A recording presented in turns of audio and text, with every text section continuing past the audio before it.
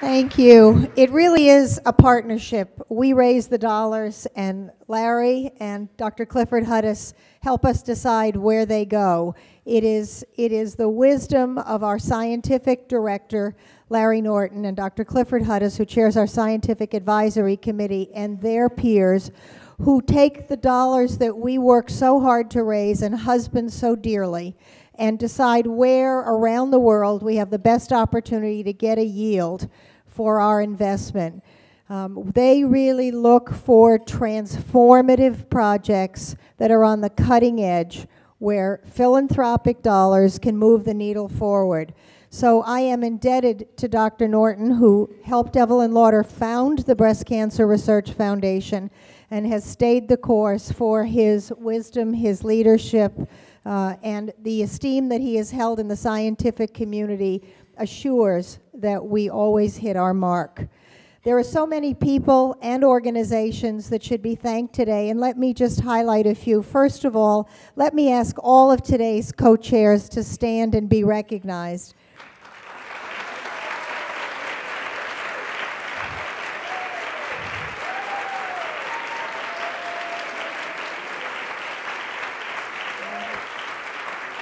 Andrea Brooks, Catherine Chapman, Kelly Doyle, Deb Hoffman, and Linda Nigerson.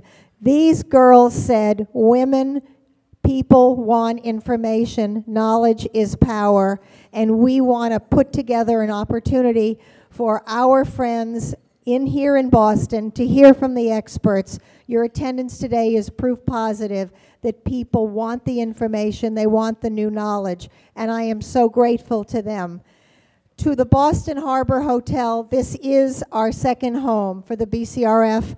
Some of you know, but not all of you know that um, Lucretia and Catherine and I were stranded here in the middle of the winter. Now, if you're going to be stranded somewhere, how would you like to be Eloise in the Boston Harbor Hotel, eating chocolate strawberries and doted on?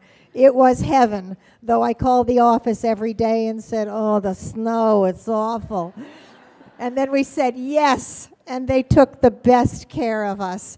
So to the Kelleher family, thank you so much. Chef Daniel Bruce, this lunch is wonderful. John Krellen, who has newly come at the helm of the hotel. I don't know if you've all met him, but John, you might want to stand since you're newly back in Boston. Kelly Doyle, you are the welcome wagon always rolling out the pink carpet. Nicole Semerall, Gary Sloper, the flowers in my room always take my breath away. Thank you all so much at this hotel. To the Rubin family and Rubin Wines, you contributed this beautiful drink. Please all enjoy. We thank them so much. Twist Event Design and Management, the tablecloths are glorious, and Winston Flowers, they did it again. They donated these beautiful centerpieces so that they and all who donated can assure that the money that we raise today goes for research. Kelley Tuthill is our spokesperson here in Boston. She is an eloquent and tireless advocate for BCRF, and her presence always warms my heart.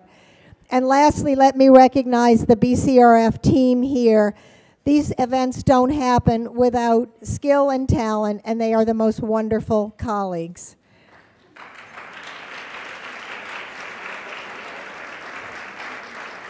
Thanks to the luncheon leadership and generous friends, most of what we raise today goes directly in the hands of researchers.